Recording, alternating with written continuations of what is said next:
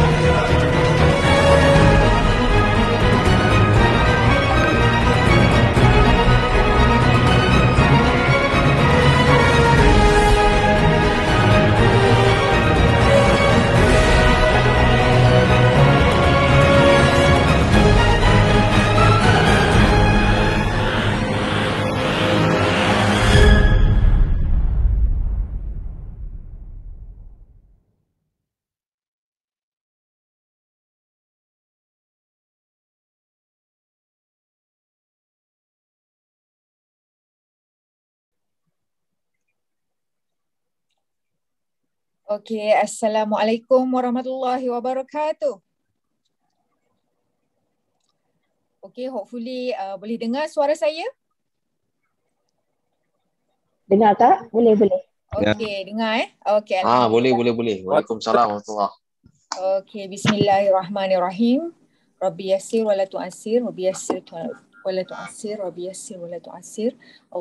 Ala Sayyidina Muhammad wa ala ali Sayyidina Muhammad. Allahumma salli ala Sayyidina Muhammad wa ala ali Sayyidina Muhammad.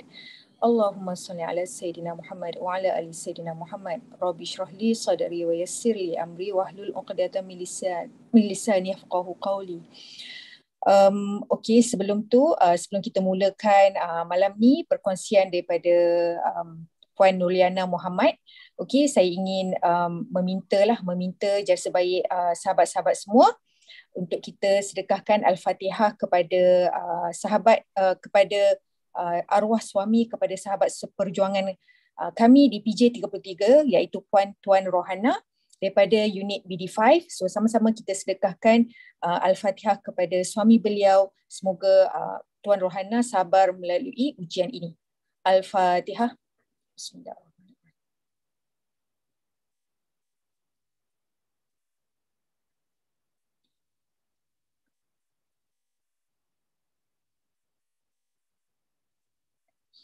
Okey.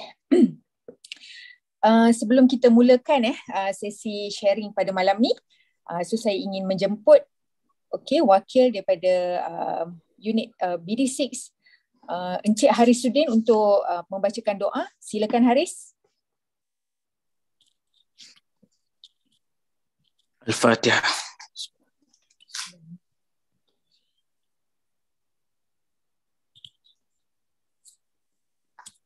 Bismillahirrahmanirrahim. Alhamdulillahi rabbil alamin wassalatu wassalamu ala asyrafil anbiya wal mursalin wa ala alihi wa sahbihi ajma'in.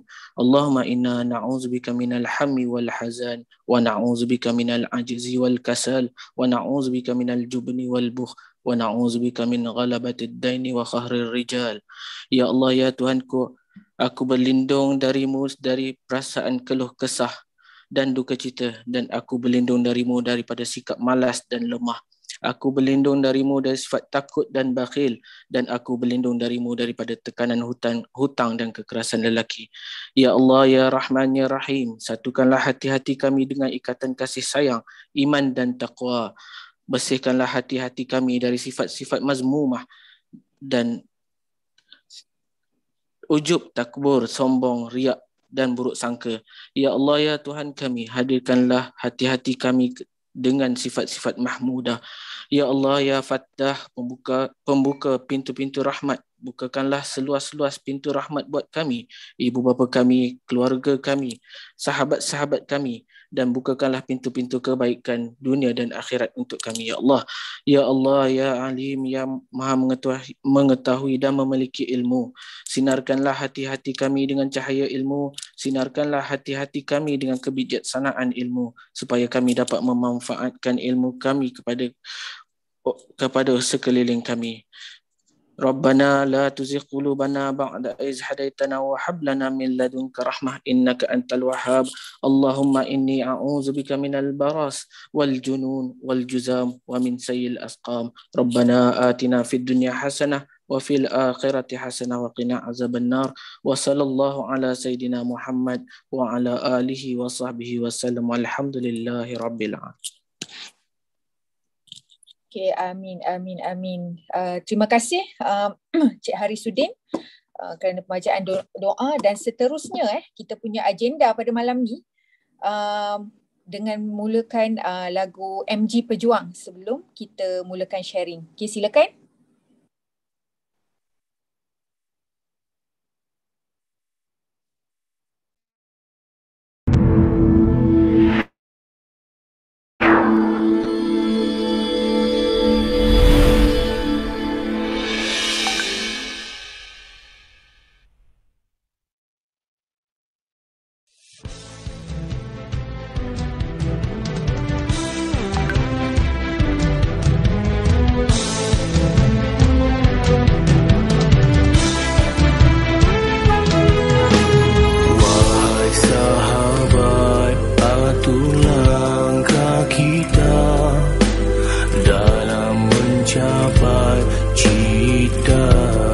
记得。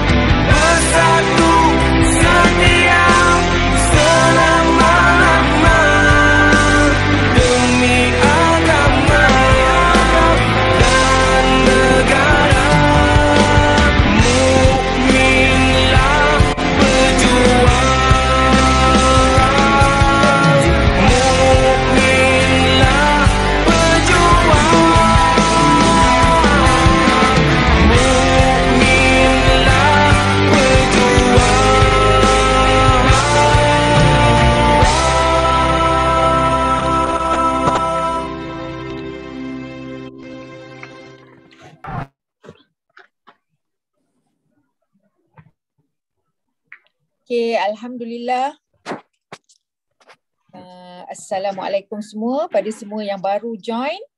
Okay, so uh, sekarang kita dah uh, melepasi kepada 335 orang partisipan pada malam ni.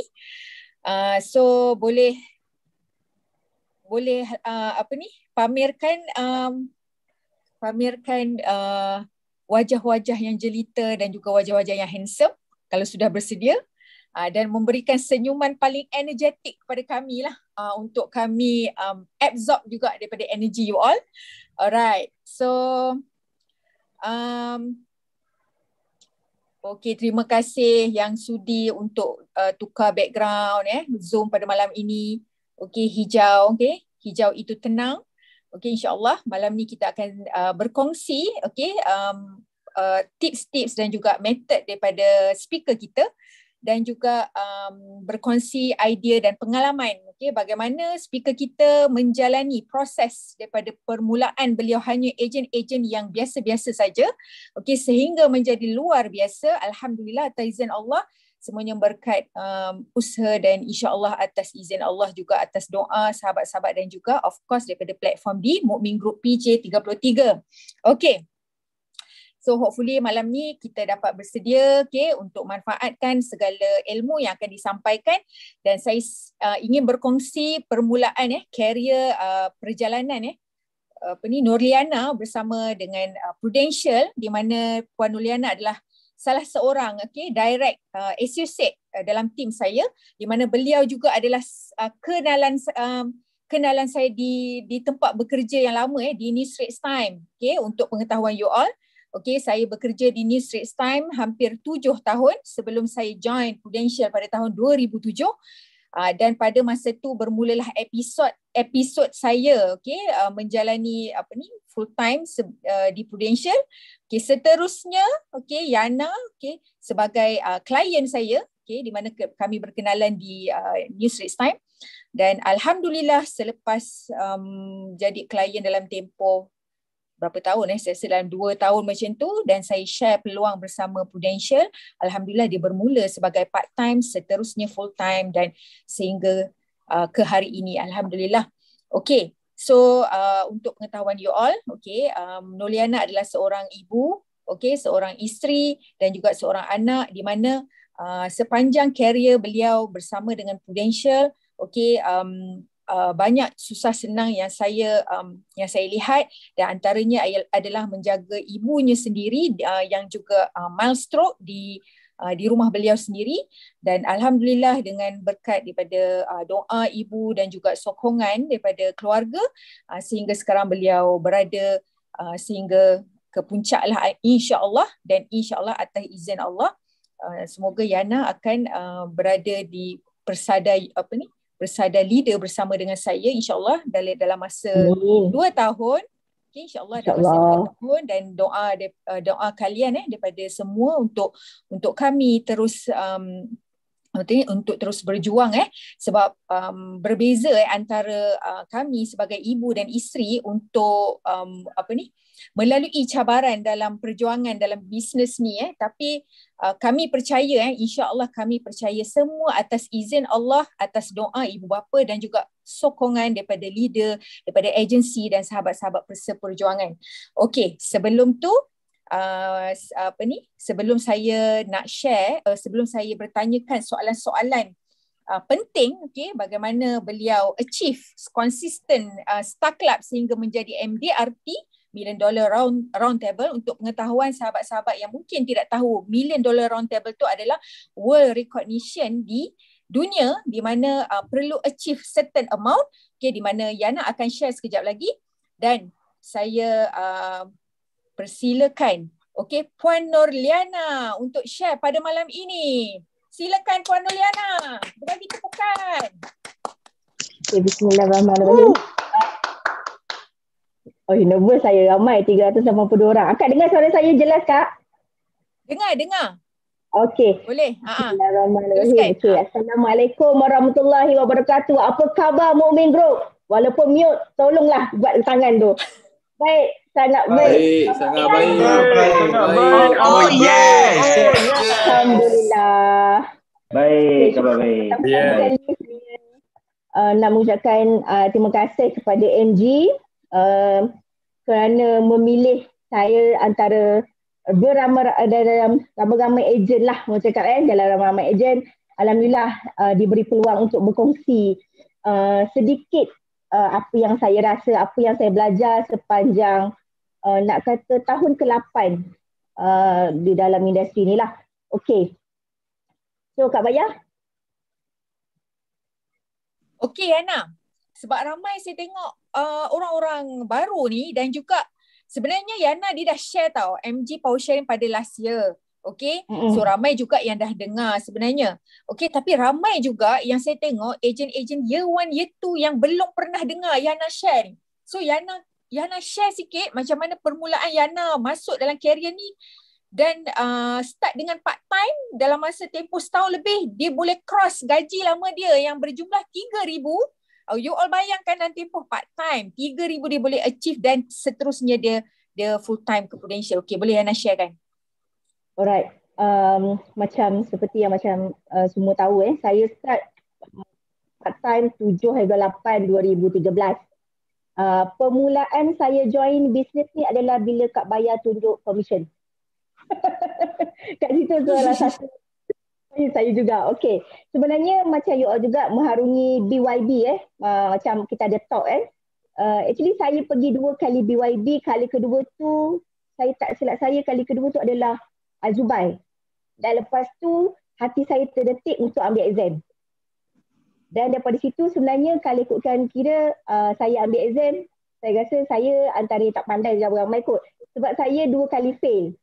Dan um, maknanya kalau ikut kira macam kak, ruginya ambil exam saya bayar tapi tak lulus. Tapi saya fikir macam, eh alah-alah aku dah fail ni, dah rugi duit, why not saya try je lah kan saya cakap.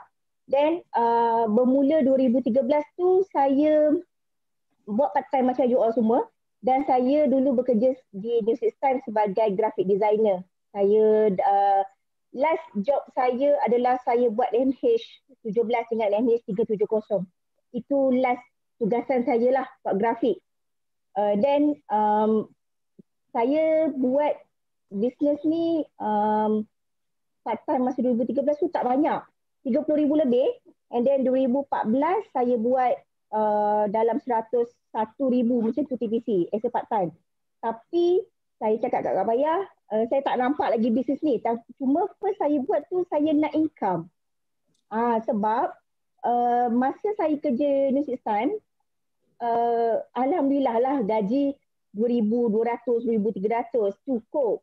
Tapi masa tu anak saya tengah membesar dan saya tak ada weekend dengan husband. Memang dua-dua kerja shift dan saya terpaksa uh, bekerja keras lah uh, buat part time. Dan sebenarnya masa saya part time tu, kalau saya shift petang pukul 3, pukul 8 pagi saya dah masak, hantar anak saya pergi uh, rumah pengasuh dan saya pergi appointment. Saya sempat buat satu kedua appointment. Tengah hari wajib setiap Jumaat saya akan uh, buat DA dekat Masjid Bangsa. Sebelum saya masuk kerja pukul 3 petang itu memang rutin saya sebagai part time. Ah sebelum saya turning point ke full time. Sebab saya cakap kat Bayah, uh, suami saya bagi izin untuk saya full time bila saya punya commission sama macam gaji. Ah korang bayangkan macam mana nak dengan saya seorang ibu, seorang isteri saya hari-hari masak, memang uh, kerja shift dan saya balik pun rumah kadang pukul 12, kadang ada EPS saya balik pukul 5 pagi, kalau ada election saya pagi balik pukul 4 pagi.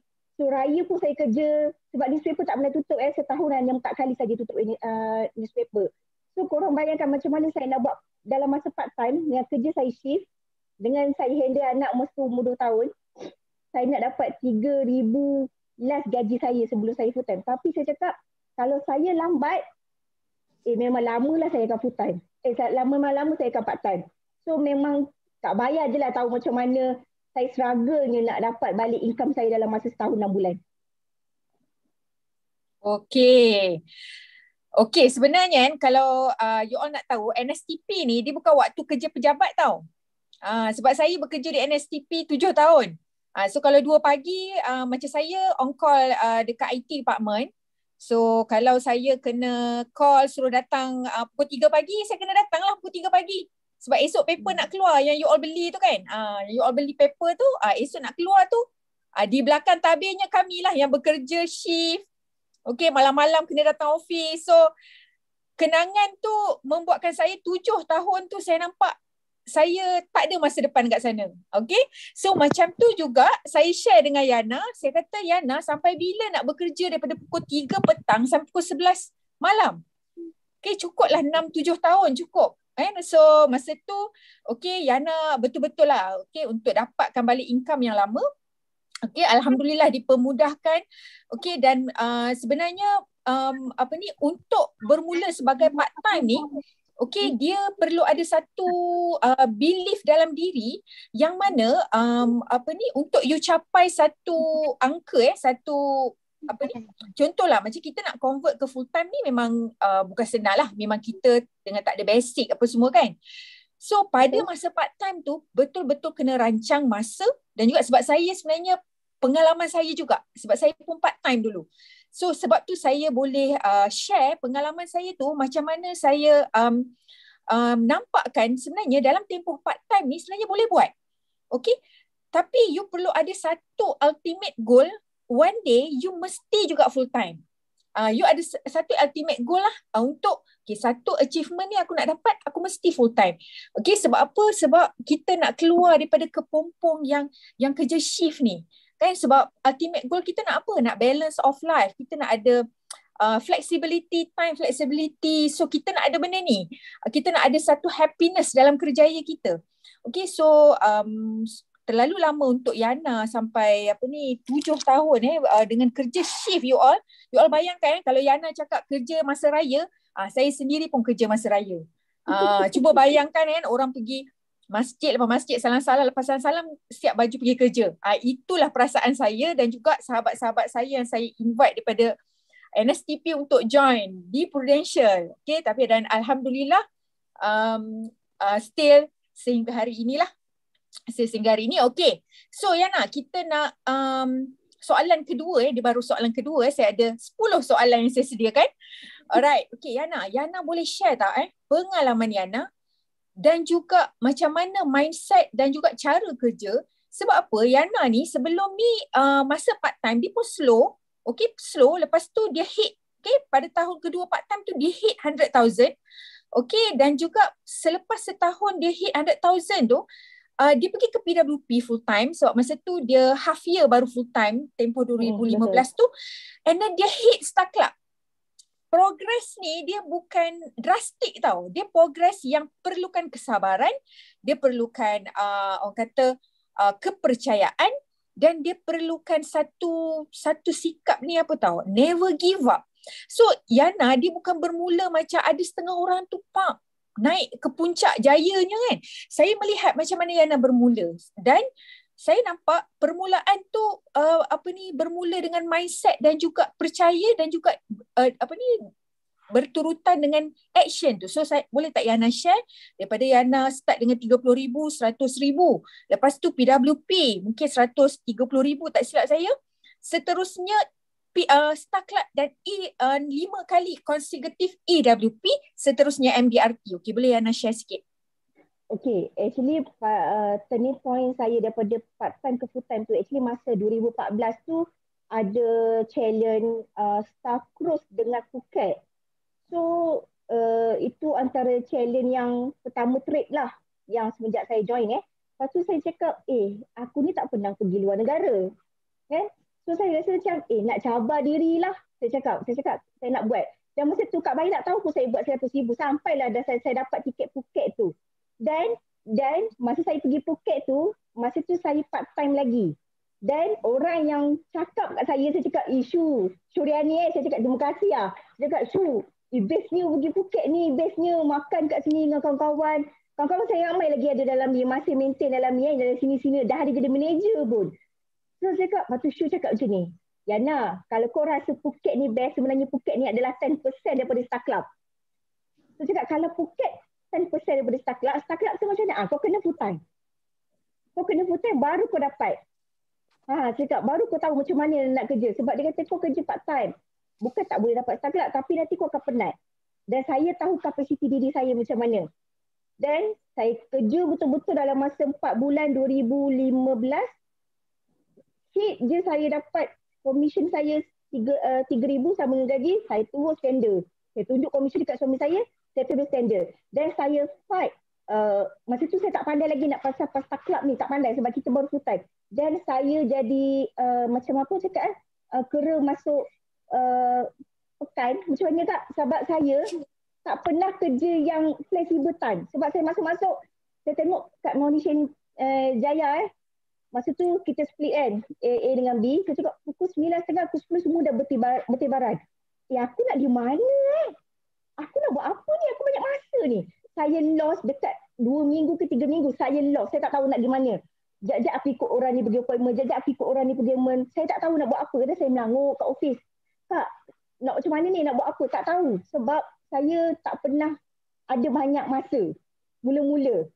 So saya dah gone dah kat situ bulan 6. Lepas tu bersambung pula dengan uh, puasa dengan raya. Ah, lagi saya tak macam mana nak full, nak full time nak raya. Memang first time family saya tanya, mak mutu saya tanya, mak saya tanya, asal aku cuti lama raya sangat? Eh, raya ni cuti lama. Saya cakap, oh ni lah first time saya raya paling lama saya tak payah ambil cuti. Saya rasa macam, ya Allah inilah dunia aku. First time saya raya macam best sangat. So, saya cakap, eh aku tak salah buat keputusan untuk resign. Sebab saya nak ada empat benda je dalam hidup saya. Yang bos saya cakap, kita dalam hidup ni kita nak ada safety, kita nak ada time dengan family. Sebab Allah pinjamkan kita nyawa untuk kita bersama dengan family kita. Kita tak tahu kita pergi dulu ataupun dia orang pergi dulu. So, gunakan masa yang you ada di sekarang untuk dengan family. I ialah income. You nak income sebab you nak ubah hidup you. Kalau you tak ubah hidup you, tak ada orang boleh ubah hidup you. Sebab saya tak saya tak boleh suruh husband saya jadi ejen sebab dia tak minat. Saya pun tak minat tapi sebabkan uh, masa dengan duit ni yang menyebabkan saya ubah mindset saya. Dan um, si uh, position eh sebab 6 tahun kerja sebagai graphic designer saya tak naik uh, tak tak naik jadi senior pun duduk kat situ je dan last kali satisfaction betul lah bila kita kerja bila tak ada kita tak ada kepuasan diri kita uh, kita rasa macam kita kerja ni sebagai ibaratnya nak dapat income saja untuk bayar komitmen. So uh, saya try buat pada 2015 tak banyak kak. Tak, tak silap saya masa tu 140 lebih 150 lebih. Saya cakap okey lah dalam masa setahun ni saya boleh uh, capai PWP sebab ada orang lagi ada orang lagi hebat. Dia part time pun dia boleh PWP tapi saya tahu kapasiti diri saya macam mana. So saya cakap okey lah first aku buat PWP sebab aku tak pandai. So aku kena belajar. So saya cari, saya cari shoe, saya cari masa tu saya tak ingat tak silap saya shoe pregnant kot. Uh, oh, eh satu lagi ialah satisfaction. So saya cari orang macam ni saya nak belajar Star Club. Masa tu um, adalah sebab saya ni jadi pemalu. So saya tak tak pandai cari orang siapa-siapa. Saya cari orang yang saya tahu je. So saya belajar dengan Farah, dengan Shu. Macam mana nak buat Star Club. And then uh, bila saya try hit Star Club, orang cakap apa memang bulan 12 adalah bulan miracle bagi ejen. Tak tahu datang dari mana kes tu sebab jujur saya cakap 80% klien saya adalah FB. Dan di Jaya memang orang kenal saya nama Yana FB. So saya memang tak buat FB ad langsung zaman dulu sebab saya tak pandai pun IT. Dan memang daripada part time sampailah sekarang masih saya dah guna FB method. Dan 2020, 2021 barulah saya belajar sikit-sikit pasal FBX. Tu pun ramai Bangla, Nepal yang WhatsApp saya. Masih lagi ramai sebab saya tak pandai. Tapi saya cakap saya kena buat something untuk naikkan income saya. Saya cakap saya dah dapat income. So saya nak ada extra lagi untuk bayar komitmen. Sebab sejujur saya cakap masa saya nak berhenti kat bayar paling risau. Sebab saya kerja 6 tahun saya tak ada saving last saya berhenti adalah saya dapat saya ni tak ZSS tapi saya tak dapat so gaji saya yang terakhir uh, saya dapat bonus sebulan 3000 campur dengan gaji 6000 itulah yang saya berbekalkan untuk saya uh, full time. Tapi subhanallah saya dikejar macam alung. Hari-hari saya dapat call daripada bank. Sampai saya dah menggeletar. Setiap kali ada orang call kalau orang nak ambil insurans aku okey lagi tapi kau nak minta nak minta hutang ni kak saya cakap eh saya tak boleh lah macam ni. Stres ni husband saya tak tahu. Kereta kredit credit card memang subhanallah rasa macam betul ketindakan aku ni ambil buat full time ni tak, tak nak bayar pun tak boleh. Saya cakap eh kalau kalau macam ni saya kena cepat buat buat start club. Tapi bulan 12 tu Allah bagi last minute 31 bulan 12 capture start club dengan EWP. Masa tu EWP 235 je bukan 250. So saya cakap eh boleh buat lah walaupun last minute. Okay macam ni aku target tahun depan 2017 nak fight lagi sebab saya selalu dengar sini-sini cakap macam ni. Nak apa? Ayana, club pertama kali itu adalah nasib. Ha? Ah, sama kat sini pun kena. Dengan manager. Kalau kau start club, alah nasib je tu sek- sekali club. Eh rasa macam tercabak ya. Aku ni macam nak nak terduduk tepi jalan buat club. Kau kata club tu uh, apa ni? Uh, cakap nasib lah start club tu. Saya cakap apa saya buktikan? Saya cakap saya buktikan. Saya, uh, saya buat lagi fight lagi cakap ni kalau tahun lepas buat 31 bulan 12 saya kena awal sikit. Tak kisahlah awal seminggu pun jadi awal lah sikit kan. So saya buat minggu kedua terakhir bulan 12 tu saya ahead. Uh, AWP 2017. Eh boleh buat. Okay. Saya kena repeat tahun ketiga. Sebab bila you dah buat, you dah ada momentum. Dan you nak lagi. Eh macam ni sebab masa you dapat start club, lepas berapa bulan, bulan bulan 12 you start club kan. Bulan 4 tu dah pergi overseas. Lepas 4 bulan pergi overseas. Lepas tu trip yang saya rasa dalam tahun tu 3-4 trip kot pergi. So you ada momentum yang macam eh best. Sampai saya rasa eh bila nak pergi lah, bila nak pergi. Dia rasa macam excitement tu ada tau. Bukan sebab sebab saya orang susah. Saya pada keluarga yang susah. So saya tak pernah nak merasa naik kapal terbang, nak pergi jalan-jalan, nak buat pasport memang tak pernah. So mungkin you all bukan macam tu. You all ada yang cakap daripada keluarga yang senang, yang pernah Alah bujang-bujang pun dah pergi Bandung dengan kawan-kawan. Saya tak pernah. Saya tak pernah rasa pun benda tu. Nak berjauh dengan family lagi tak pernah. Nak tinggal suami lagi tak pernah. So inilah saya punya me time. Ah, saya cakap, Kak, dulu saya tak suka travel. Bukan tak suka travel. Sebenarnya aku tak pergi travel sebab aku tak ada duit. Ah, saya cakap kat Bayar, Kak, saya tak suka lah saya nak buat saya nak buat commission je. Saya tak suka pergi travel ni. Tapi bila pergi, you rasa macam eh bestnya. Eh bestnya. Ah, dia ada rasa macam uh, me time tau. Sebab uh, saya saya tinggalkan suami saya sekejap untuk 10 hari. Saya tinggalkan anak saya sekejap untuk saya berhurah-hurah sekejap dengan kawan-kawan. Sebab bila jadi seorang isteri, seorang ibu, you tak ada me time. Ibu you nak makan Maggi pun kena curi-curi tau. Ah, siapa yang mak kat sini, dia tahulah perasaan tu macam mana kan. Okay. So, uh, consistent uh, Star Club saya buat sebab uh, saya punya leader sendiri pun consistent. Akak pun tak silap saya 5-6 tahun lah kak eh. Consistently. Ya, enam tahun. Ah, so saya cakap, eh kalau bos saya ada anak kembar, lepas tu empat orang anak boleh buat, saya anak seorang, takkan saya tak boleh buat. Dan Syuriani pun enam tahun betul, enam tahun start club. Saya cakap, eh, semua yang start club yang lima enam tahun ni adalah seorang ibu dan seorang isteri. Saya cakap, kalau dua orang boleh buat, saya boleh buat. Dan kat sinilah main peranan seorang kawan. Seorang badi-badi, seorang mentor sangat main peranan. Kenapa kita boleh konsisten? Sebab um, pengorbanan yang saya buat untuk dapat start club ni, jujur saya cakap, saya tak ada balik pukul 6.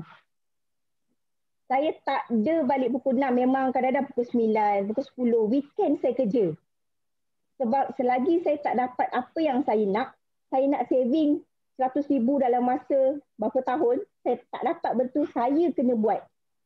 Saya cakap bukan tak ada cuti. Kita boleh manage cuti kita. Sebab saya bukan jenis yang boleh hit last minute.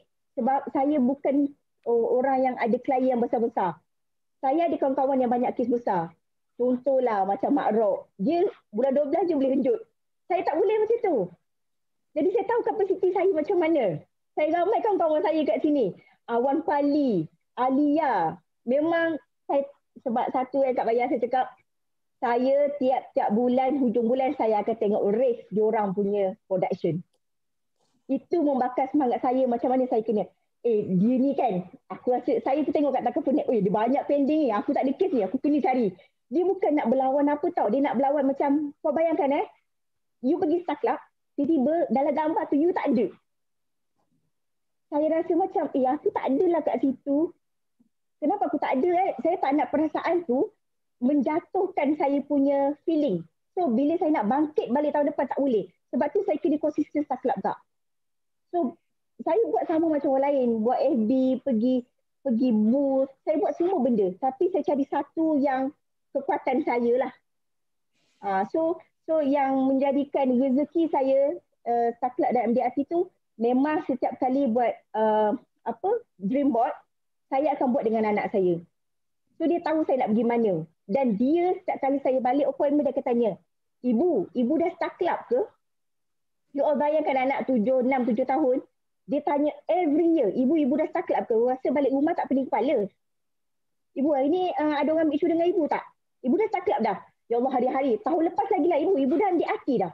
Sebab last year saya bawa dia pergi bangunan Prudential. Kat atas tu kan ada apa macam LED yang keluar gambar MDRT. Dia tanya saya ibu bila ibu nak masuk kat situ, bila ibu nak MDRT. Oh stress saya tak. Tapi itulah pembakar semangat saya, anak saya. Sebab saya cakap dia dia tahu setiap kali uh, agency meeting dia akan tanya, ibu dapat nombor berapa? Tak ada hadiah pun, tak ada plak pun. Oh, rasa tercabar bila anak tanya macam tu. So, itu salah satu sebab yang saya kena capai juga benda tu. Bukan because of dari segi income untuk saya sendiri dah mencukupi, sangat mencukupi. Tapi saya fikir untuk sekarang ni, it's time untuk saya bagi dekat orang lain lah. Ah, tu salah satu kenapa. Okay, so untuk saya soalan tadi kan, maksudnya sekarang ni mindset Yana first kali adalah dia memang dia nampak income dulu. Okay, Hmm. so bila nampak income ni, okay, dia dah set target. Okay, so bila set target, dia cuba buat untuk dapatkan dulu. Walau uh, buat untuk dapatkan dulu ni pecah kepada kepada weekly target. Okay, sebab kita akan kita akan bekerja ni based on weekly target. Okay, sebab tu saya memang akan uh, orang yang produktif, saya akan kejar untuk 5 kes minggu. Betul-betul yang produktif lah sebab saya nampak, okay, uh, Yana memang sangat potensial untuk Star Club sebab dia boleh submit kes sebab dia bukan submit kes yang 500 bulan you all eh. Dia submit 130, 120. Tapi dia boleh RM50. ah RM55 tapi by volume. Okay, so saya cakap sebenarnya um uh, Yana kena kena set at least uh, apa ni uh, cases tu by TPC untuk monthly. Okay, so bila Yana dia tahu cara nak buat, okay, dia tahu cara nak buat dan dia buat dan dia dan uh, dia dapatkan and then dia ada experience. Nampak tak you all? Sebab tu kita kena dapatkan juga experience. Daripada mula-mula mungkin satu kes minggu, okay, ketiga kes minggu, kita upgrade sikit progress kita ke lima kes minggu. Okay, dengan cara kerja yang fleksibel untuk kita lah. Uh, lagi-lagi time PKP ni pun kan. So, yang saya nampak dekat sini, Yana, okay, bila dia nak letak uh, letakkan uh, matlamat dia tu capai, dia mesti ada satu momentum. Momentum ni dia dapat daripada mana? Daripada body-body juga. Okey, tu yang pertama body-body. Yang kedua dia dapat daripada mana? Daripada monitoring dia dekat race. Okey, so benda hmm. ni sebenarnya uh, okey, kalau cerita pasal kejap lagi pun Yana akan share macam mana dia buat. Tapi kalau untuk you all yang betul-betul ada satu target yang jelas, okey, you buat dan akan ada kawan yang sama-sama support untuk sinkronisekan sama-sama target. Itulah namanya body-body. Body-body ni kawan tak kisahlah sesiapa pun branch mana pun dekat satu Malaysia ni dia bukan body-body yang selalu kita duk hadap call selalu tu tak. Dia adalah satu orang yang kita nampak dia dalam race. Okay, dia nak monitoring cakap eh aku nak kena follow dekat ni. Aku nak kena dekat ni. Aku kena kena uh, mungkin kena potong dia next week. Mungkin kena potong dia next month. So itu adalah satu motivation yang yang bawa Yana. Dia dia maksudnya dia drive Yana untuk untuk dia uh, apa ni hit dia hit target tu. Okay. Dan uh, dan of course benda ni adalah satu tanggungjawab yang saya nampak lah. Okay, yang saya nampak sebab Yana sangat-sangat committed dengan masa depan dia dalam bisnes ni. So dia kena betul-betul bertanggungjawab dengan result dia. Okay, dengan result dia dan juga dia kena kena make sure yang uh, result dia ni uh, mesti on track. Okay, you all on track. On track ni maksudnya consistent every week. Okay, tapi Yana, uh, ini luar soalan sikit. Yana pernah juga tak ada kes kan? Sebab kan ingat lagi masa Yana full time tu, Yana macam uh, uh, macam lama juga menyelam. Betul? Betul tak? Masa tu macam ni Yana bangkit Kosong boleh share sikit tak? Ah? Pernah, pernah kosong TVC. Sebab apa masa tu eh, Yana tengah mencari je rentak eh? Uh, orang cakap bila uh, apa dia orang cakap rezeki tu kita cuba, kita buat tapi uh, saya twist mindset, saya cakap tak apalah mungkin bulan ni tak ada case sebab Allah nak uji kita.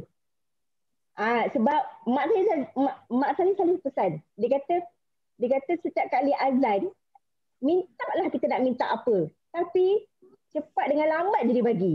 Saya pegang ayat mak saya sampai sekarang.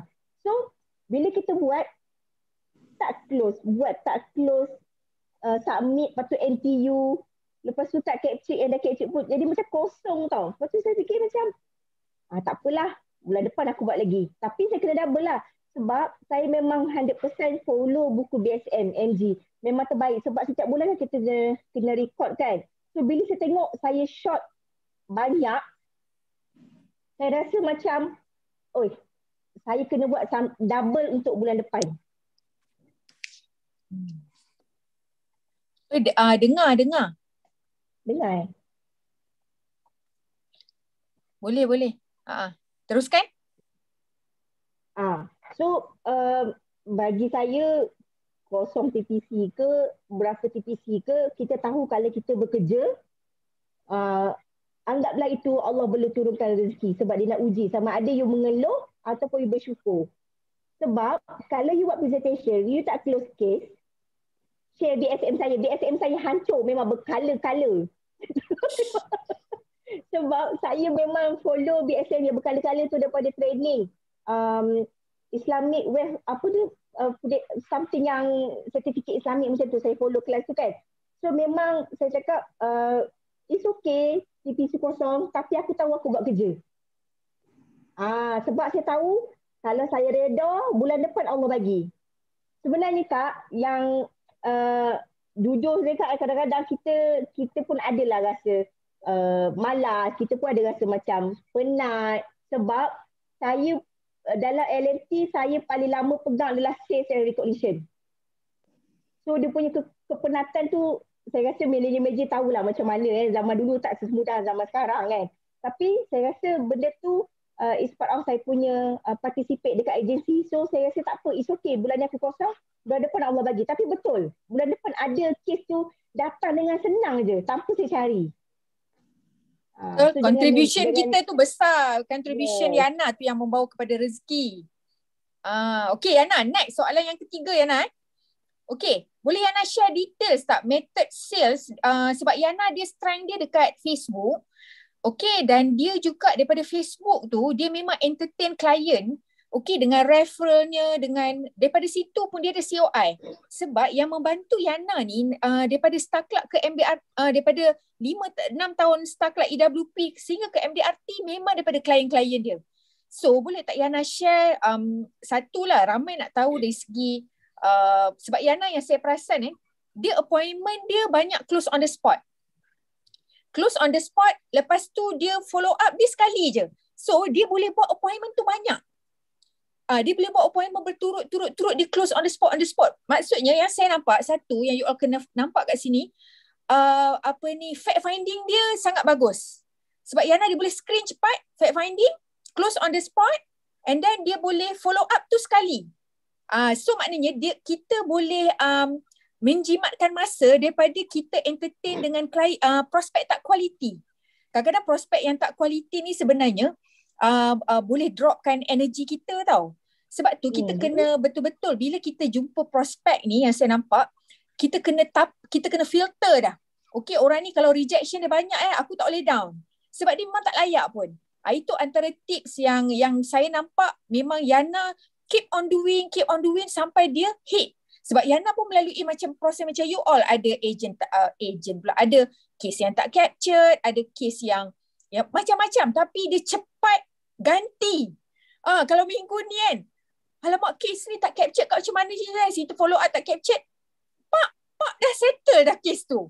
Sebab apa Yana dia ada banyak kolej ke ataupun boleh tak Yana share uh, benda ni sebab ramai nak tahu juga ni. Okay, uh, FB sebenarnya permulaan tu saya pun macam you all jugalah join booth, uh, tabur flyers. Saya pernah pergi uh, sekolah ke sekolah, universiti, UIA, uh, selit bawah bawah apa uh, pintu cikgu, eh, lecturer ketuk pintu lepas tu belah sebab takut. Lecturer buka pintu lepas tu penyuruh. Ah, tu pernah rasa. So saya cari semua method, saya buat semua benda. Uh, duduk dekat Masjid Jamik, tabur flyers, uh, kena halau dekat KL Central banyak kali lah. Since part time sampai full time saya still follow. Uh, sebelum pande- pandemik ni lah eh. Tapi saya cari satu kekuatan, memang saya, jujur saya cakap, saya tak ramai kawan. Sebab kawan-kawan saya semua kat Terengganu kak. So saya pula masa kat Terengganu, saya bukan jenis yang berkawan dengan orang. Uh, bukanlah saya nak kata saya berkawan dengan binatang. Tak. Tapi saya tak ada ramai kawan. So Kaki study kot Yana. Kaki study. Tak adalah pandai kak. SPM baru 4 je pun dapat. Tapi saya jenis yang memang tak tak peramah. Memang takut. Ah. Dan uh, saya cakap saya kena buat je posting. Memang saya langgar lah posting. Saya pernah share dulu. Minimum saya posting pun uh, tiga kali ke lima kali. Saya post je macam-macam. Orang cakap ada tak spesifik uh, benda saya buat? Tak. Sebenarnya kalau you memang of course lah you akan public kan you punya Facebook lah itu of course lah kan. Dan bila you post, kekerapan you post tu akan naikkan you punya feed. Dan memang saya cakap memang dulu ya, saya bukan jenis yang PM orang dekat Facebook. Sebab saya tak suka orang PM saya. Assalamualaikum saya jual ubat jamu boleh tak you bagi feedback bla bla. Beli saya jual uh, telekung. Saya bukan jenis yang suka macam tu dan saya pun tak suka PM orang. Benda tu rasa macam annoying dan benda yang paling saya takut sekali buat sekarang adalah sampai sekarang kan direct uh, approach dekat meja ke meja. Sampai sekarang. So saya memang buat FB personal. Saya tak ada FB ad. FB ad saya start 2020. Start pandemik baru saya ada FB ad. So FB saya tu saya add kawan saya, saya add, add, add, add. Lepas tu bila orang tu tanya, saya post je. Minimum tiga kali. Pagi of course morning. Morning motivation, doa pagi, saya akan wish saya tak reti nak buat copywriting yang panjang-panjang walaupun saya budak meskom. Saya memang straight. Memang Assalamualaikum selamat pagi. Moga hari ni lebih baik daripada. Macam tu je. Tapi orang nak tahu kau wujud kat Facebook. Kat situ ejen ada yang malas. Alah aku post tak ada orang nak like pun. Betul. Saya punya posting bukan macam Syarul. Saya tak tahu Syarul tengok tak saya hari ni. Tapi saya tengok Syarul. Saya tengok um, siapa yang MGKL tu uh, yang power tu pun saya tengok copywriter dia memang bagus dan memang ramai yang like. Saya bukan orang macam tu. Tak ada orang like pun kadang-kadang kak. Tapi ada yang PM saya. Direct daripada uh, Facebook. Tanya quotation. Dan bila tanya quotation, saya akan uh, skodeng. Ha, saya akan stalk dia punya Facebook. Saya akan tengok profile dia macam mana. Contoh orang tu like, saya akan pergi profile ataupun orang tu PM, Ah, saya tengok profil dia macam mana. Uh, suami dia bekerja ke, anak dia berapa orang, dia jenis yang macam mana. So kita dah boleh baca dah uh, surface first surface untuk fact finding. Then uh, saya jarang uh, WhatsApp quotation ataupun bercerita melalui WhatsApp. Saya terus call. Sebab bila kita terus call, kita punya dada suara dengan WhatsApp, penerimaan orang berbeza-beza. Sebab orang cakap apa daripada suara, daripada mata jatuh ke hati. Ah, so saya cakap tak apa kak macam ni. Saya terus set appointment. Jujur saya cakap, saya dulu tak pandai, saya selalu kena marah dengan manager-manager dulu. Saya selalu jadi star agent. Pagi, memang duit aku bagi gila. Pagi PJ, lepas tu pergi Shah Alam. Lepas tu tengah hari pergi Putrajaya. Lepas tu patah balik Ampang. Lepas tu pergi PJ. Kadang-kadang satu hari sampai 9 ke 10 appointment semua star agent. Saya cakap, ya Allah Tuhan, aku penatnya. Tapi daripada satu hari itu, separuh saya akan close. Saya dah aim, saya cakap, aku pergi ni sebab bila orang bertanya, bermakna dia ada intention. Dia nak ambil. Ah, so itu cerita sebelum PKP. So saya still buat sampai sekarang. So since PKP, memang uh, orang cakap kerja tu sebenarnya lagi mudah. Sebab kita dah ada base client. So pada yang baru, you buat di posting tu uh, pagi maybe tak payahlah pagi-pagi dah cerita pasal takaful kan. Pagi-pagi uh, tunjuklah gambar makanan. Saya yang perasan bila saya tunjuk gambar makanan, uh, memang uh, yang like yang komen tu lagi banyak berbanding saya cerita pasal takaful. Ah uh, itu saya memang perasan kat situ. Tapi uh, ada aku kisah itu Facebook aku suka aku dah nak post apa. Sebab saya fikir Sedap yang nak punya masakan tu. Yana punya masakan dia sedap nampak. Saya fikir macam ni kak, kalau saya fikir orang fikir apa, saya tak saya tak bergerak. Betul. Saya tak perlu fikir apa orang fikir pasal saya. Bukan dia orang yang bagi duit dekat saya untuk makan. Bukan dia orang yang tahu kesusahan saya macam mana. Orang nak cakap, eh poyo lah cerita pasal ni. Cerita. It's okay. Kalau kau tak nak kawan dengan aku, it's okay. Sebab Facebook ada 5,000 orang. Saya boleh, memang saya cakap setahun, eh setahun pula. Dalam masa tiga bulan saya akan screening saya punya FB, saya akan clean mana yang toksik-toksik. Sebab kat situ dah lubuk saya punya bisnes. Sebelum saya beralih pada uh, FB ad. Dan uh, tengah hari memang saya bagi awareness lah. Uh, dan petang uh, apa ni you cerita pasal produk. Saya saya banyak uh, banyak orang bertanya bila saya suka post pasal quotation. Uh, sebab macam uh, bagi saya macam kita nak screenshot perbualan kita dengan klien saya rasa macam tak nice. So saya jarang buat benda tu kecuali masa ada claim masuk macam tu saya minta izin lah tapi kebanyakannya saya akan uh, buat quotation sebab dulu kan tak ada TikTok. So kita post macam biasa je lah. Ha, contoh, uh, ni quotation RM100 untuk umur macam ni macam ni. So ada orang yang jenis yang bukan yang nak membaca. Ada orang dia suka uh, nak tengok harga. Oh anak dia sebaya dengan anak ni. Nak tanyalah. Kita tak tahu market kita macam ni. So saya try banyak benda. Sometimes bila saya tulis panjang, uh, ramai juga yang yang baca. Yang tengok, yang komen, yang like. So kita try bermacam-macam lah. Kadang-kadang saya pun pernah juga copy dia orang punya tapi saya bagi kredit. Saya share orang punya tapi saya bagi kredit. Uh, ayat ni daripada Syarul contoh. Uh, so saya pun share benda tu uh, asal ni cerita daripada siapa. Sebab saya tahu betapa, betapa susah ni kita nak buat copywriting dan kita tiru orang punya tanpa kita bagi kredit. Ah, sebab saya pernah buat copywriter sebagai copywriter dalam Mescom. So betapa susahnya orang tu nak buat. So kalau kita nak tiru ayat dia nak share, dia bagi kredit. Itu pendapat saya sebab dia ibaratnya dia mencuri hak mutlak orang lain punya idea. Sampai saya terfikir macam ni kan, bila saya post, saya tiru ayat orang tanpa saya letak kredit, ibaratnya saya meniru, um, mencuri. So bila saya mencuri, rezeki yang saya masuk tu ada letak berkat. Saya tak nak macam tu sebab uh, yelah, Yelah sebab tu idea orang kerja. lain. Tu idea dia. Ha, Betul. So tak salah kita nak copy tapi bagilah kredit sikit. Kredit. Ah, macam tu Ah, maksud ah. saya. Ah, sebab saya tak pandai copywriting. Memang posting saya pendek-pendek. Dan malam of course saya akan bagi sepatah dua kata malam punya ni lah. Kadang-kadang malam tu cerita pasal anak. Kadang malam-malam tu you bagi video, short video. Sekarang dah banyak. You boleh google je kat TikTok. Eh, Google kat TikTok. You pergi je search kat TikTok tu, you post. Dan daripada FB tu sebenarnya katalah uh, saya pergi orang tu add saya uh, apa add saya ataupun saya add orang tu dan saya akan pergi ke belakang dia lagi. Setiap kali saya pergi appointment, saya akan tag orang yang saya close tu ataupun prospek tu. Walaupun dia tak close eh, saya tak close dia tapi saya tag dia. Dia cakap kak saya minta izin saya nak tag akak kan kat Facebook. Dia jadi kawan. Sometimes dia akan jadi datang, lambat tau. Prospek dia datang lambat. Dan bila kita uh, pergi appointment ataupun submit claim, you pergi, uh, saya rasa agent pandai lah bab macam tu eh. Macam uh, apa, uh, deliver polisi, you tag lah orang tu.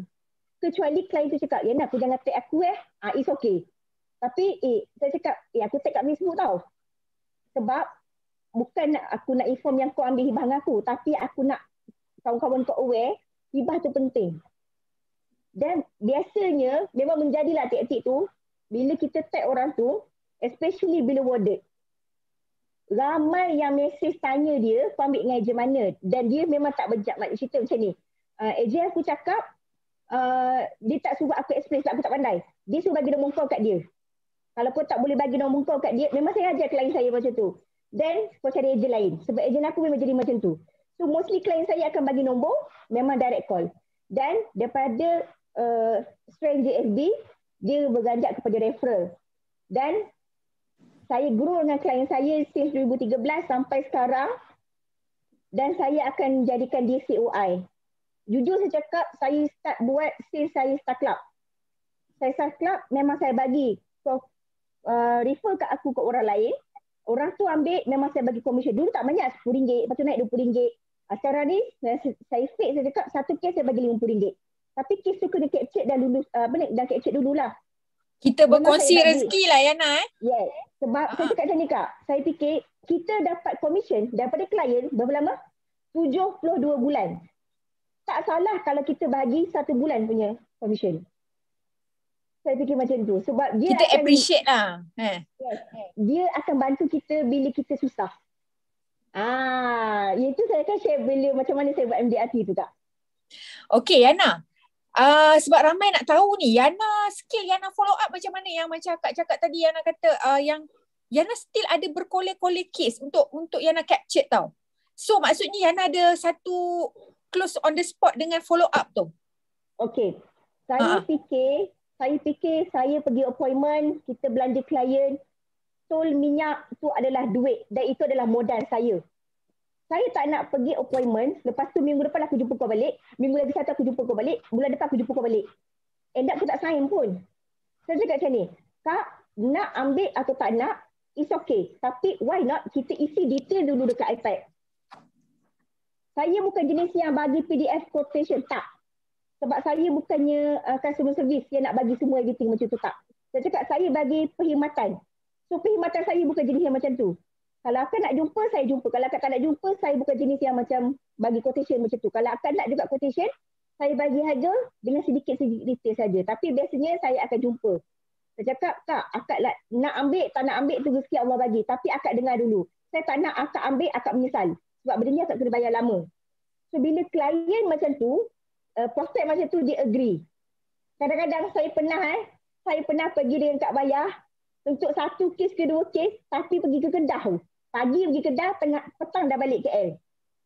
Saya pernah pergi Terengganu semata-mata untuk orang tu ambil yang mungkin saya tahu tak tahu dia ambil ke tak tapi memang prospek saya bagi. Saya pergi, besok saya balik. Saya bawa mak saya yang stroke separuh badan tu dengan anak saya yang perempuan. Saya bawa dua orang balik Terengganu. Saya drive sendiri sebab semua saya kerja. Semata-mata saya nak jumpa orang tu tapi saya tak tahu close ke tak. Ah, tapi bila saya pergi, saya akan make sure dia akan sign dekat iPad. Kak, kalau akak rasa plan ni bagus untuk akak, why not kita isi detail ni dulu? Isi detail everything dan saya bagi akak masa dalam masa dua hari untuk akak fikir. Akak fikirlah sepuas-puasnya. Akak bincanglah sepuas-puasnya. Dan saya akan follow up. Akak, akak masa berminat tak plan akak dah sign. Sebab saya tak nak bagi masa akak untuk saya jumpa lagi akak. Dan saya tak nak bagi masa saya untuk saya jumpa akak lagi sekali. Sebab saya ramai lagi orang yang saya nak jumpa. Dan saya pun ada family untuk saya handle. Saya memang straight forward je kak. Mostly, daripada 100% tu saya rasa dalam 80% yang akan sign. 20% tu mungkin lindung-lindung lah. Tapi kita sebenarnya kita ada insting tau eh. Kita macam bila kita pergi tu kita dapat rasa dia ni chemistry tak dengan kita. Dia boleh jadi klien kita tak. Kita dapat rasa benda tu. Uh, dan bila dia sign, lepas kita saya follow up, mostly akan submit.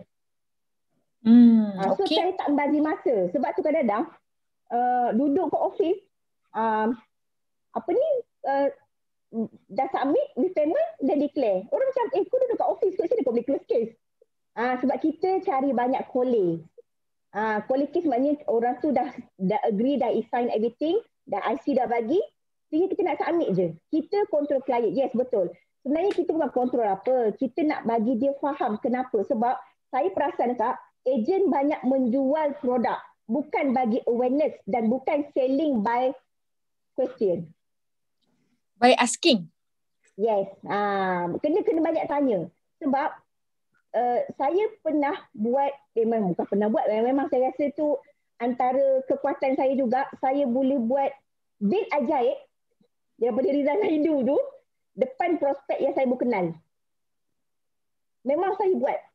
Ah cuma bila bila PKP ni dalam Zoom tak adalah saya nak buat kan. Tapi memang dulu adalah message saya. Memang saya buat macam tu. Betul lagi buat Yana. Sebab Yana dia implement satu method eh kalau mungkin uh, kawan-kawan baru kita tak tak tahu eh apa bil ajaib eh. So boleh you all boleh Google dekat um, apa ni Google YouTube ke boleh tengok bil ajaib daripada Rizal Naidu. Okay, so bil ajaib tu memang sangat ajaib lah dia punya cara dia tu. Okay, sebab dia dia ada cara dia lah untuk untuk kita sebab uh, sebab apa klien ni kalau by uh, kita cakap-cakap cakap-cakap banyak aja kan dia tak faham kan ah tapi bila kita bagi kertas kita min, kita koyakkan, kita bagi. Ada adalah cara. So sebenarnya yang saya nampak cara close case setiap orang tu berbeza ataupun cara follow up tu berbeza lah. Cuma yang saya nampak kekuatan Yana adalah dia akan memberi tahu uh, dia punya situasi dia dan juga situasi prospek tu. Okay? Uh, maksudnya dia letakkan, dia create agency. Uh, macam saya tengok tadi ramai cakap create agency. Sebab tu sebenarnya create agency ni you all, dia perlukan practice. Ah, betul tak Yana? Sebab saya Betul. tak rasa sebab kalau daripada saya yang nampak dia kan depan mata ni, saya nampak dia pun macam orang uh, uh, ramai uh, you all juga follow up follow up tapi dia ada satu mindset bila bila pergi jumpa tu dia ada satu mindset okey kalau nak atau tak nak okey aku kena keluarkan juga uh, untuk uh, apa ni isi form ni isi apa ni form ke ataupun iPad kan. So maknanya dia deal dengan prospek tu. Okey bila dia tahu prospek tu adalah prospek yang dia boleh close Okay, so bila dia dah deal macam tu, sebab tu kadang-kadang mungkin ada yang tak berani tapi kita kena beritahu. Sebab ini adalah SOP daripada Prudential. Dia ada waiting period dia. Dia ada dia punya um, apa ni uh, requirement yang kita perlu uh, kita perlu lalui. Dan saya nampak dekat sini satu, Yana dah create chemistry. Chemistry ni maksudnya dia dah ada permulaan presentation tu, dia dah ada bonding. Dia dah dia dah bagi awareness presentation tu sangat-sangat solid sehingga klien tu dia tak banyak objection lah. Ah, sebab bila tak banyak objection dia dah lead untuk close. Okay, dia nak lead untuk close cuma perlu fikir ya atau tidak sahaja. Ah, bukannya uh, Hmm. dia akan objection objection kenapa quotation compare compare. Sebab apa bila sampai satu tahap presentation you all banyak, you all practice cara yang berkesan, you all ada banyak cara dan you all akan dapat sekejap tu dia punya close case tu. Ah, dan follow up tu. Alright. Eh, Okay Yana, so kita nak nak soalan yang ke Ya Yana? Praktis banyak nak dapat benda tu. So, Betul. Jangan give up lah. Kita try. Betul. Sebab apa ni bila saya tengok Yana coaching agent dia pun saya tengok oh cara Yana ni ini cara ini cara PhD punya cara. kan? So maksudnya uh, kadang-kadang sampai satu tahap saya tengok uh, hanya bercakap je uh, masa presentation. Kak boleh bagi tiga nama untuk untuk untuk expenses akak ni dibayar. Okey, akak ada tiga nama. Kalau akak tiga nama mungkin akak tak perlukan saya. Uh, sebab saya pernah dengar Hmm. Yana coaching agent dia macam tu. So saya cakap, Uh-uh. wow ini tahap PhD ni Yana. Uh, agent agent baru kata kau tak praktis, kau tak dapat. Kau kena praktis benda ni. Ah, tapi permulaannya mesti ada berturutan lah. Kita kena kenal klien tu, kita kena chemistry dengan dia, kita kena ada uh, sikit uh, apa ni orang kata uh, fact finding uh, yang betul tentang keuangan sebab kita nak klien tu dia boleh bayar. Okay, dia mampu untuk ambil disebabkan dia ada high awareness. Alright. Okay Yana, sekarang ni berbalik kepada cerita baru MDRT. Okay, sebab untuk pengetahuan you all, saya bukanlah million dollar round table yang saya nak coach Yana. Sebab tu masa saya uh, masa Yana adalah Yana ada cakap eh kak uh, apa ni rasa macam nak buat MDRT. So saya cakap Yana, Yana carilah the best coach yang boleh buat MDRT. Saya rasa kat Prudential memang ramai. Mungkin ada training-training yang spesifik, mungkin ada training-training yang Yana kena join. Sebab saya memang tak tak tak tolak pun dia pergi mana-mana training, tak tolak pun dia pergi mana-mana uh, apa ni uh, apa ni coaching ke apa ke saya cakap kalau Yana betul nak buat MDRT pergi belajar. Sebab saya tak boleh ajar. Sebab saya tak buat MDRT kalau kalau ajar Star Club saya bolehlah cerita pasal Star Club kan. Okay so uh, so benda yang akak nak minta Yana share adalah dekat ka- kawan-kawan kita ni bila Yana dah buat satu tahap uh, EWP dah 5 6 kali Star Club 6 kali Star So macam mana Yana ubah mindset untuk dapatkan MDRT tu dan, dan macam mana Yana belajar untuk dapatkan MDRT? Okay. Uh, first saya tahu perkataan MDRT itu adalah bila UM Siti Roziana dapat MDRT masa dia di Jaya. Okay, Siti Roziana Kan? ada kat sini ni. Ada, dia dengar. Itu saya rasa bila dia dapat MDRT, lepas tu saya macam, apa benda MDRT tu? Saya pernah dengar manager cakap, mudah reti. MDRT ke mudah reti? Maksud dia. Saya cakap, apa benda MDRT ni? Lepas tu, uh, kita pun macam selam, ah, ah, Pak Nan, Pak Nan, mudah reti ayat dia. So, saya cakap, lepas tu bila dengar uh, kita punya AM Kak Ramlah pun MDRT cakap, eh, ramai tau manager MDRT tapi saya segan nak tanya manager yang atas-atas. So saya macam, eh apa benda MDRT saya tengok je. Tapi saya tengok Siti dapat MDRT. Lepas tu the next tak silap saya, Zaki yang dapat MDRT. Saya cakap, eh Ram, apa benda MDRT tu saya pun nak belajar. Tapi untuk you belajar apa benda tu MDRT, dengan syarat yang pertama you kena EWP. Sebab uh, Prudential start bagi you satu training berbayar. Uh, ada uh, FUST, maksudnya follow up follow through punya training selama beberapa bulan. Kita panggil mentor mentee MDRT. So benda tu berbayar. Saya kan saya fikir kos saya, saya bayar tu saya rasa mahal loh 300 lebih 400 lebih kot. Even though kau, kau skip kelas dan kau stay kena bayar. Walaupun tahu jalan. Saya fikir macam uh, saya kena belajar dan saya nak belajar tu saya kena dapat title EWP dulu. So bila dapat, Prudential offer saya accept.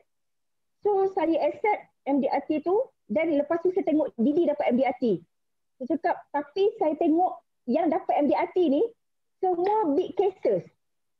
Dan jujur saya cakap, kes saya paling besar MDRT tahun lepas adalah RM1,000 je sebulan. Itu kes paling besar. Sebab kes saya, saya sama macam you all, kecil-kecil. Saya memang cakap apa, uh, klien saya pun yang Datuk Datin pun ambil tak besar. Ada seorang dua je Datuk, itu pun ambil bayar RM1,000 sebulan. Memang tak ada. So saya kena MDRT dari situ. Dan jujur saya cakap, uh, dalam Prudential, training untuk mentor mentee tu sangat bagus. Sebab saya pernah tanya Kak Bayar, mesti Kak Bayar cakap, Kak nak buat MDRT. Tapi Kak Bayar tak boleh nak explain kat saya, saya pun tak tahu nak cari siapa. Dan saya tengok, saya tanya sikit-sikit kat Zaki, lepas tu uh, saya tengok uh, call Syarul, uh, yang saya, ni lah yang saya boleh masuk. Uh, dan saya call Alia, tanyalah, tanya, lepas tu tengok macam mana kan.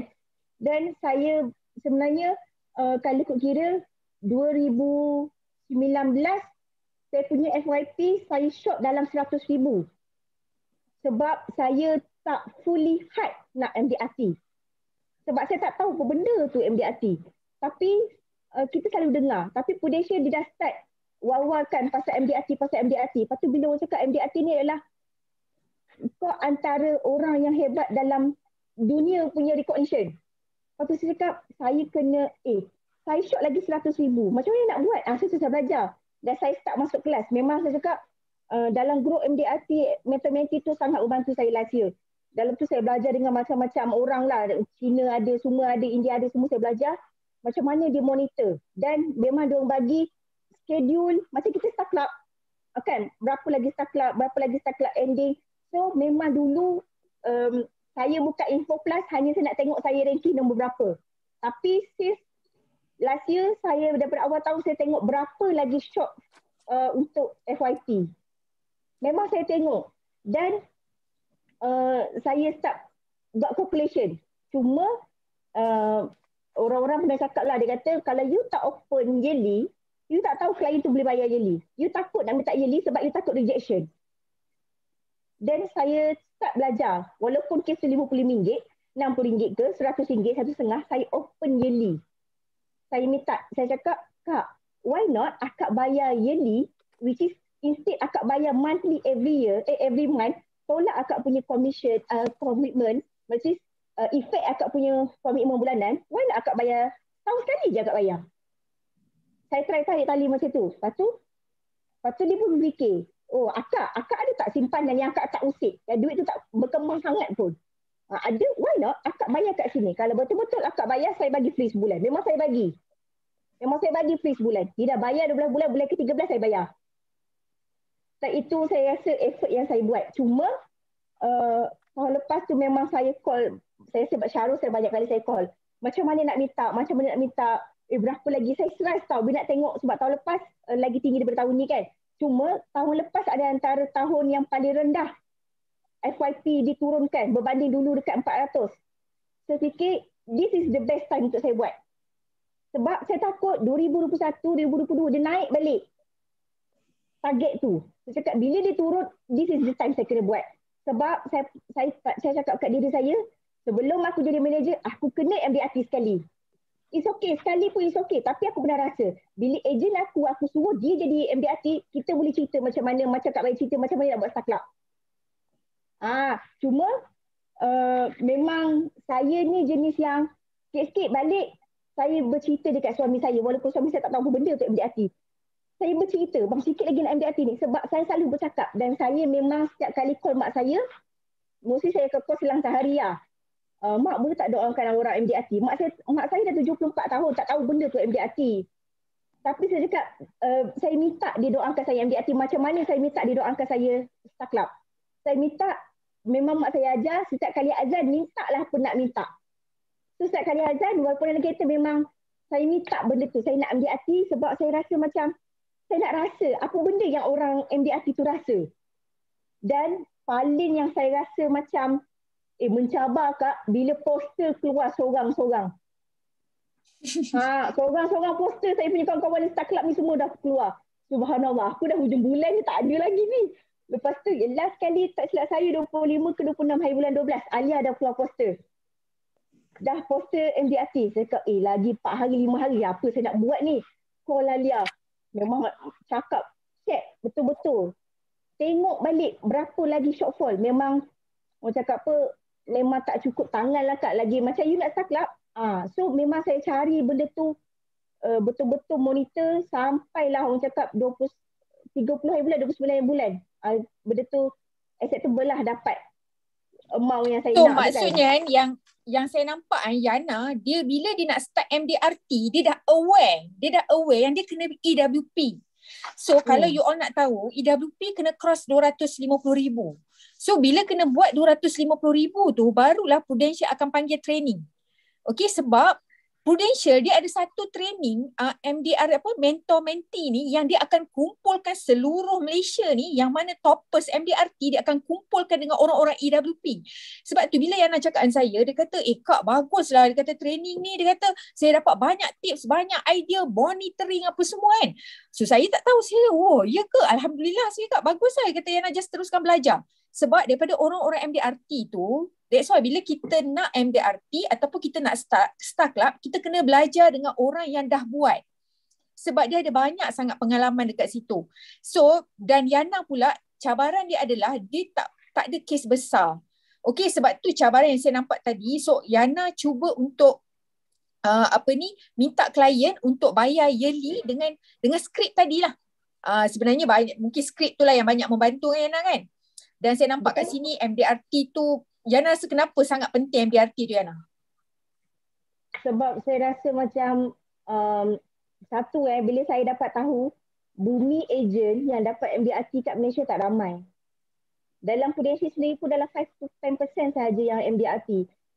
Bumi. So saya rasa macam uh, eh kita ni big agency kot. Dan saya rasa tanggungjawab saya untuk meramaikan MDRT daripada MG sendiri. Sebab saya rasa kita antara bumi yang paling ramai 11 orang yang MDRT last year. So saya nak berada di kalangan yang itu. Saya nak saya nak cabar diri saya rasa macam aku boleh buat Star Club 5 6 kali. Why not aku try MDRT? Try. Tak orang cakap tak try tak tahu. So kalau Allah kata tahun tu dibagi, ah uh, itulah rezeki lah maksudnya. Memang saya nak tu sebab saya nak satu recognition tu. Mm-hmm. Okay, ya yeah, betul Yana. Kadang-kadang uh, kita kena cuba uh, actually kan bila kita dah sebab macam Yana dia dah EWP tau beberapa kali tau. So bila beberapa kali dia dah tahu macam mana nak cross hit EWP, why not sekali tu MDRT? Sebab tu saya masa tu saya cakap tak apa teruskan saya kata. Kalau nampak peluang tu teruskan. Dan saya nampak Yana dekat sini banyak yang membantu MDRT tu daripada klien Yana. So dan cara yang Yana pun dah share tadi kan. So macam mana uh, Yana punya sokongan lah daripada klien apa yang Yana punya ayat lah. Dia ada ayat. Ber- ha. Ha, ayat. Okay, saya berterima ha. kasih dekat Syarul. Eh, kat Penang tu, saya berterima kasih sebab dia bagi salah satu tips idea dia bagi. Uh, dia kata akak-akak call balik klien. Saya cakap klien saya bukan big-big klien, semua kecil-kecil. Eh, tak apa tak akak try.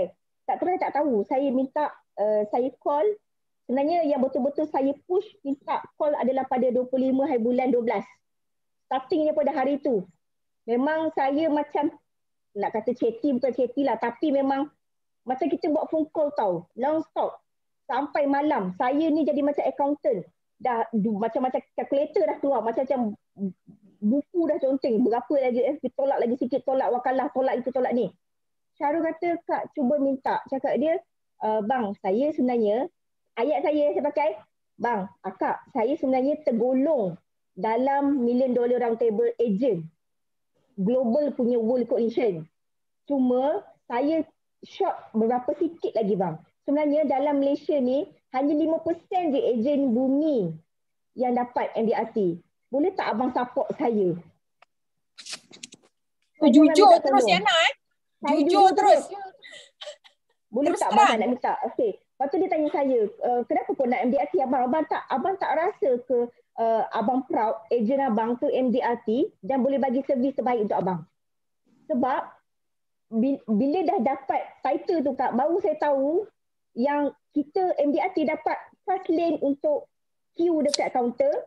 Nombor telefon yang kita call customer service adalah nombor yang berlainan dengan ejen biasa. Email yang kita guna untuk email pending case kita adalah berlainan dengan email ejen biasa. Dan case saya cepat, claim saya cepat, saya call customer service cepat. Dalam saya rasa macam baru ringin dua tiga kali dah ada orang angkat. So PA saya cakap memang eh senang lah nak call kak bila ada MDRT tapi benda tu hanya valid sampai tahun depan sahaja. Bulan tiga. So saya rasa bila klien cakap, eh cepatnya dapat duit. Eh cepatlah, akak, akak ingat tak akak tolong saya tahun lepas untuk saya dapat MDRT. Inilah saya nak bagi treatment VIP kat akak.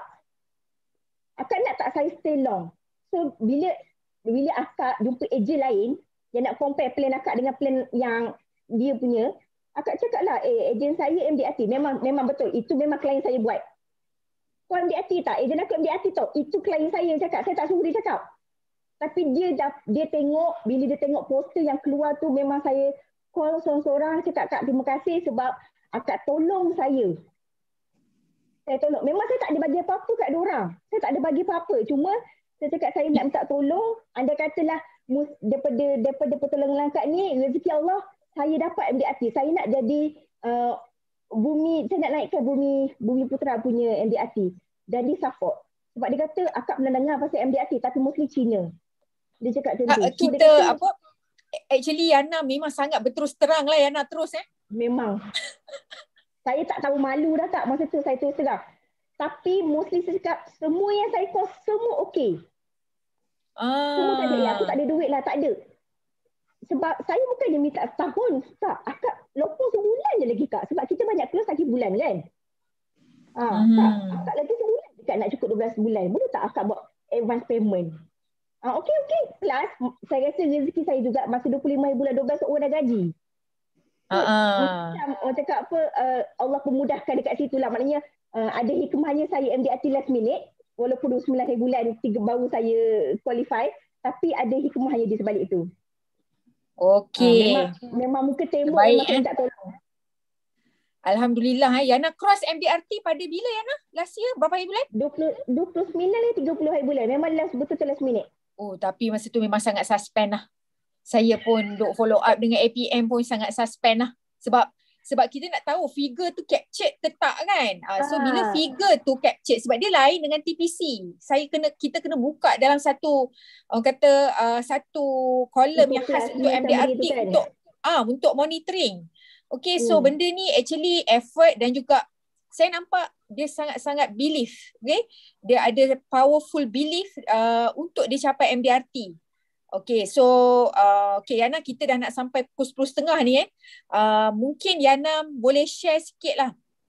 Okay, macam mana Yana melihat potensi untuk Yana grow dalam bisnes ni dan juga sedikit uh, kata-kata uh, mutiara, kata-kata nasihat untuk kawan-kawan yang mungkin merangkak macam Yana juga permulaannya kan uh, dan Yana nampak potensi Yana terus grow uh, untuk yang uh, kawan-kawan baru kita dan alhamdulillah boleh capai pun sampai pun destinasi ke MDRT ni Yana. Boleh share sikit Yana? Okey, um, saya tak ada nak bagi tip. Cuma saya lihat saya punya diri ni uh, kita masing-masing tahu kapasiti diri kat mana. Sebab uh, saya ingat lagi Kak Payah Kak Payah pernah share who am I.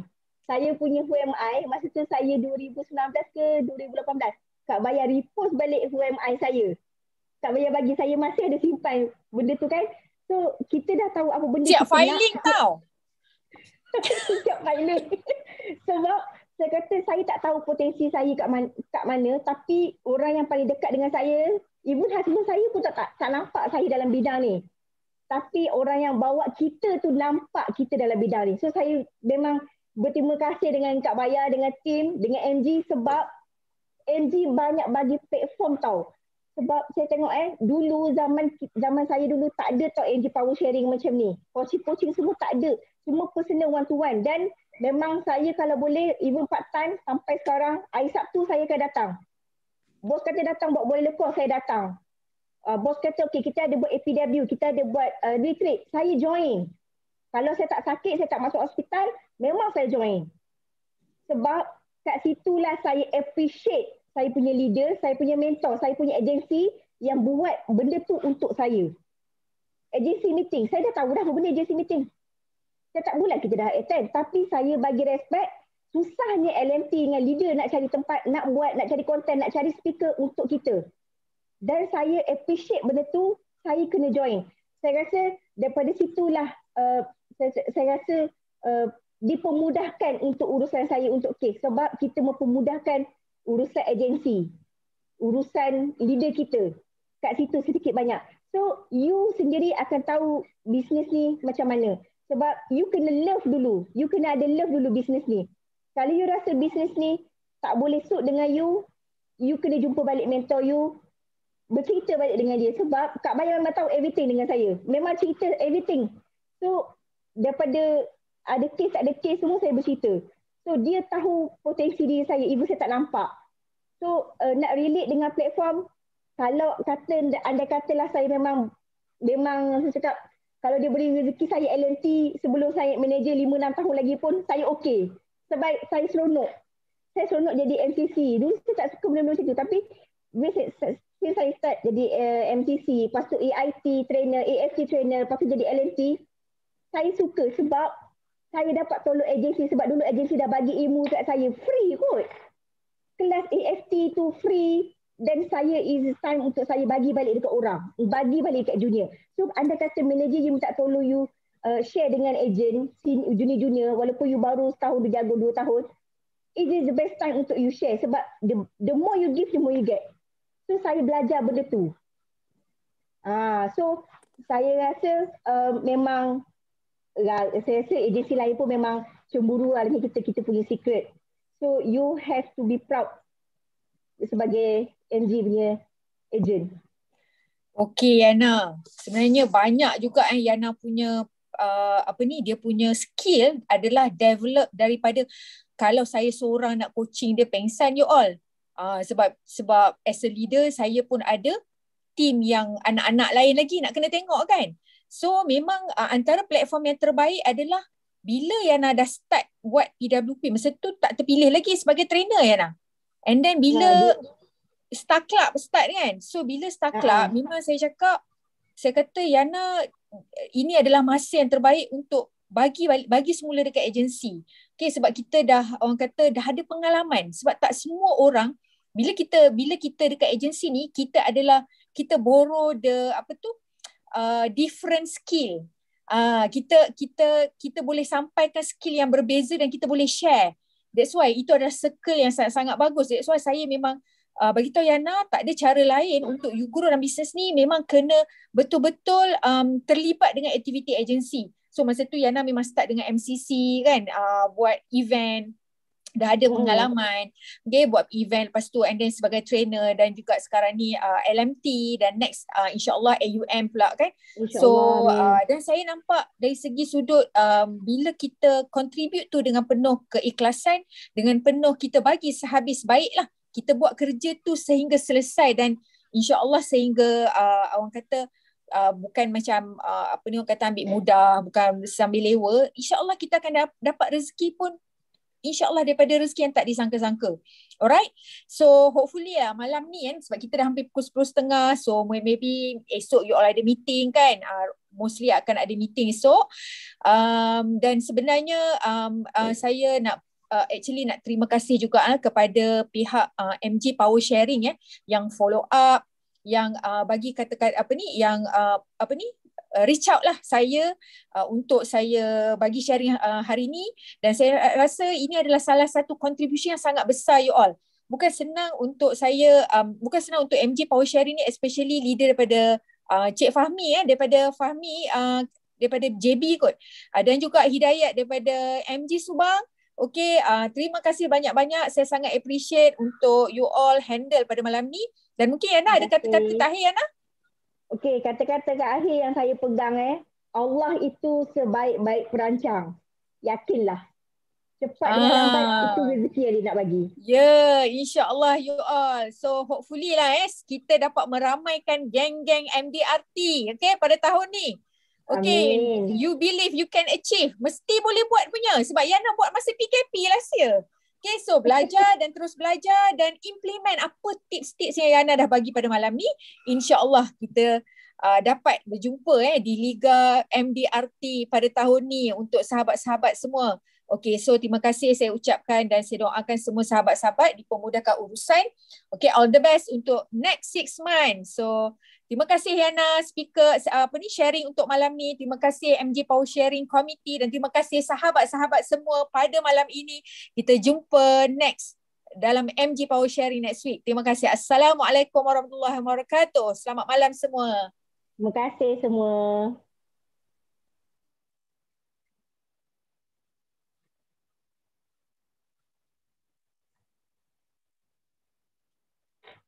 Berjalan